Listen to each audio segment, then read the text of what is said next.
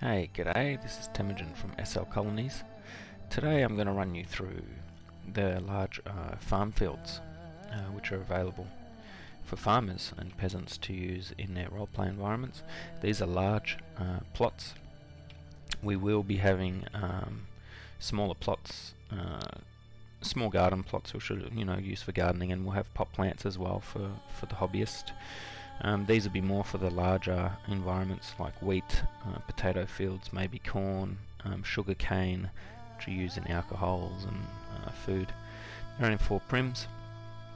There are five stages um, needed to get a field going, so you'll need to plough a field to make it look um, usable. Um, you'll then need to plant your selected seeds and you'll need to water it. Then it will grow and you'll be able to harvest it. So let's start here. You do need a plough to start ploughing, so if I just click it without anything on me, it'll check for the appropriate tool and tell me not available, not able to do it. So let's pull out a plough, which you can get from a carpenter. And now if I click it, it will start the um, ploughing process. There is an animation process and there is a timer here and as it goes on the um, topsoil will slowly um, disappear and reveal the bottom layer of the ploughed field so you know that it's already been ploughed. Let's have a look at the difference between the other fields here so you can see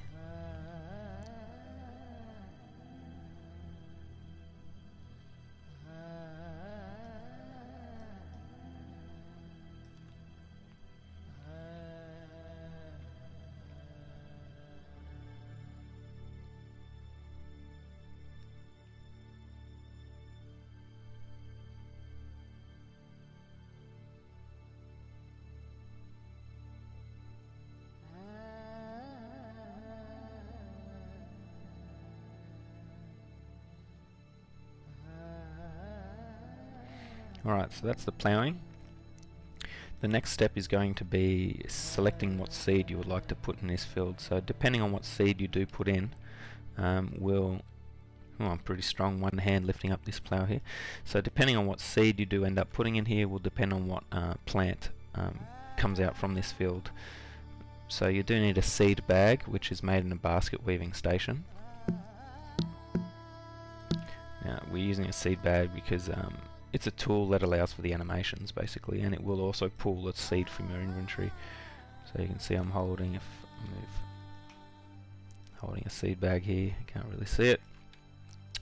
Left click on the field again. Now you select here which you would like to use.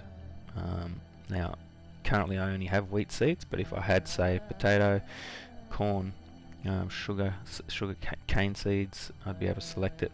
Right now we only have wheat seeds selected it and it starts seeding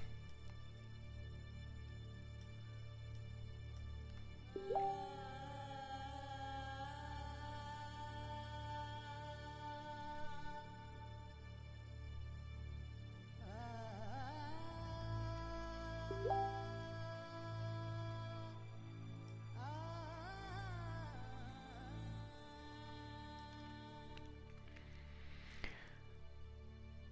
The final step before you're able to harvest is watering. So you water the field. You need a clay jar out.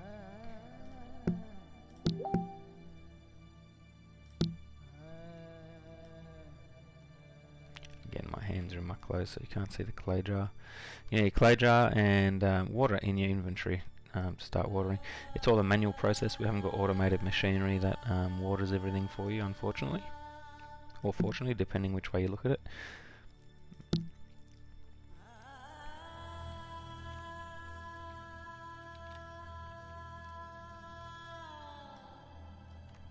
Um, the next step is the growing. Um, currently I've sped it up for the purpose of this video so it's going to grow really fast and you'll be able to see the process on this video otherwise you'd have to wait um, numerous days for the field to get to full maturity.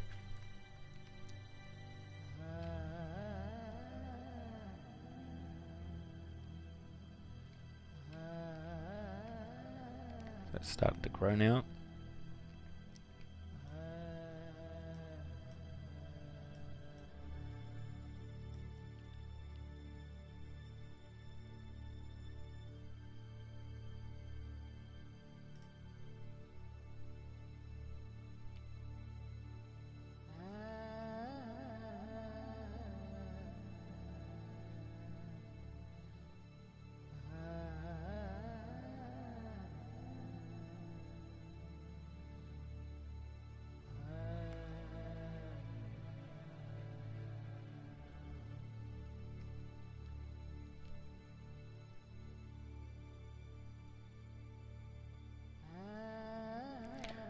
Now the next step is obviously harvesting. Anyone can come over and harvest if they've got a sickle on them, so you'll need to uh, look after your field.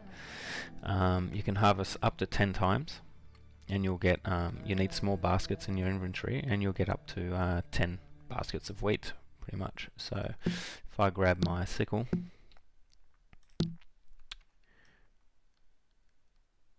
and then you can begin to harvest.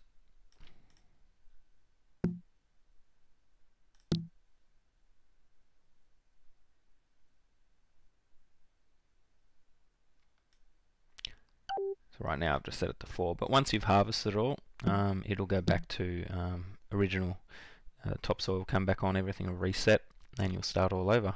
Decide what seed you wish to plant again, and so on. Um, just get the last couple so you can see it reset.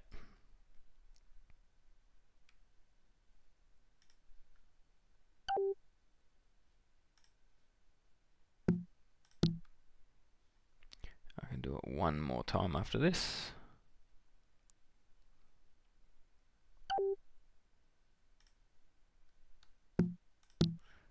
And there we go, I've harvested it all and it should reset.